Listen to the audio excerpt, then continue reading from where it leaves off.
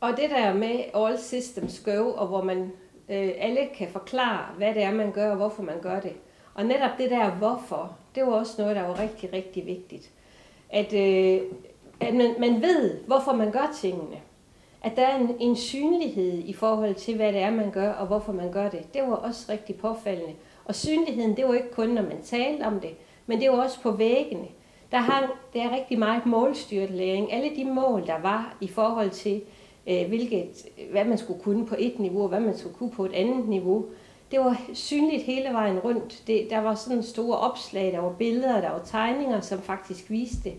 Og hele den der feedback i forhold til eleverne og deres læring havde lærerne utrolig meget fokus på. Men det, det, noget, der slog mig aller, allermest, det var egentlig engagementet. Og det var det der med, at man kunne mærke, at der var hjerte bag. Altså øh, Mary Jean Gallagher, som er faktisk næst øverst i ministeriet, altså når hun fortalte om det, så, så var det med, med enormt stor entusiasme og engagement. Og netop det der med, at, at det, der for hende var vigtigt, det var, at hver eneste barn får alle de bedste muligheder for at blive så dygtig som muligt. Også fordi vi ved, at det er jo ikke det, du laver, men det er, om du øh, får noget ud af det, du laver, der har betydning. Der har siddet rigtig mange børn og unge, tror jeg, rundt omkring i skolerne, som har lavet rigtig meget, og som egentlig har haft det fint med det.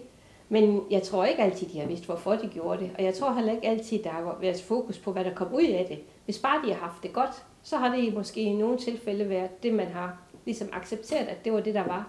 Og der tror jeg virkelig, at det her fokus, det vil gøre, at den enkelte elev bliver meget mere bevidst i forhold til sin egen læreproces. Altså selv små børn kan faktisk godt reflektere over, om de har øh, fået noget ud af det, de lige har været igennem, om de har lært noget.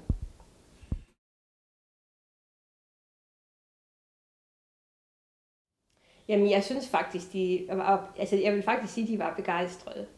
Altså, øh, øh, altså der, der, blev, der var sådan en følelse af, når vi gik ud fra ministeriet, eller når vi gik ud fra en skole, så var det den med, hold da op, ej, der er altså bare rigtig meget, vi kan bruge her, og hvor var det godt, og, og det er hele tiden, selvom de har rigtig meget test, og, og rigtig meget data, de talte rigtig meget om data, jamen så handler det ikke om, at man skal bruge det til at udstille nogen, eller, eller hvad skal man sige, rangordne nogen.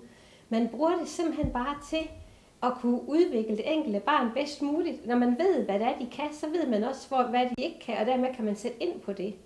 Og, og, og det er hele tiden med den der anerkendelse. Altså, det, jeg ved godt, det er lidt et fortærsket ord.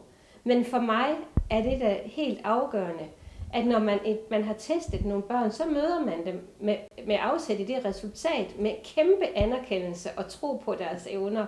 Altså, det var virkelig det, der gennemsyrede øh, rigtig meget af det, vi så.